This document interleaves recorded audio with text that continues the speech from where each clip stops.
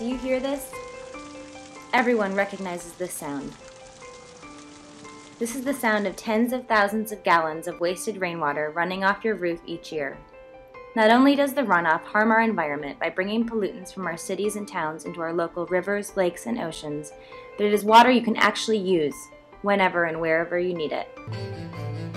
By installing the RainReserve diverter system, you can easily divert rainwater from your roof into a storage barrel for future use on your garden and lawn. Here's how it works. First, the rainwater from your roof travels through your existing downspout and enters the RainReserve diverter. Debris is separated from the water and continues out through the downspout. The debris-free water is then diverted through an outlet to the storage tank.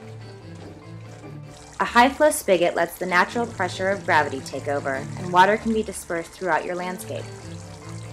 Unlike other systems, once the barrel is full, the RainReserve design prevents the water from mosquito infestation and also from overflowing out of the barrel and seeping into your foundation. The water will actually back itself up through the tubing back into the diverter where it is redirected through the downspout away from your house. You can install the RainReserve diverter into your existing gutter system in four easy steps. First, modify the gutter's downspout to insert the diverter system. Attach the RainReserve diverter to your downspout with the tools provided.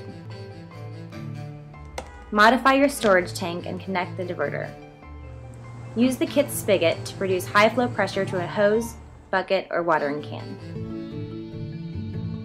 While most new barrels ship for $150 each, reconditioned barrels can be found for under $20. Log on now to use RainReserve's free online barrel locator with a mapping system to find inexpensive recycled barrels in your area.